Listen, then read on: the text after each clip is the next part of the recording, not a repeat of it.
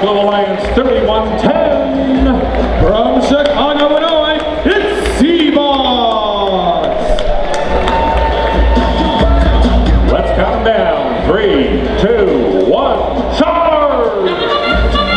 Right away for the Blue Alliance Winnovation crossing under the low bar toward the Red Alliance courtyard. They have a boulder in tow. It looks like they might be lining up for a shot. As we come down to our final three seconds of autonomous, not too much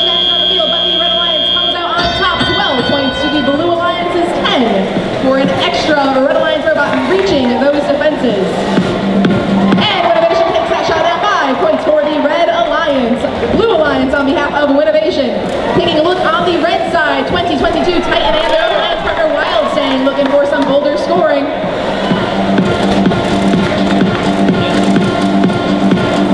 Two blue robots remain in the neutral zone in the center of the field. 4676 battery chargers for the blue. They are moving slowly toward the open door of the Sallyport that their alliance partner Winnovation is holding open for them, but battery chargers look like they may be having some trouble getting moving.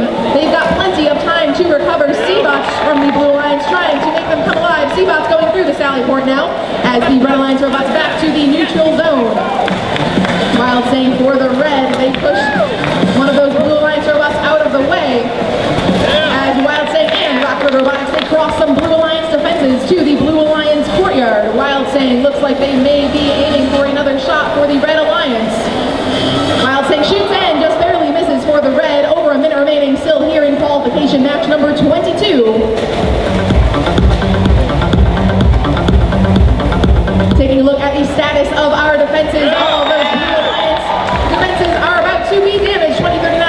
to damage that rough terrain, but we have four out of five having been damaged. That will mean that the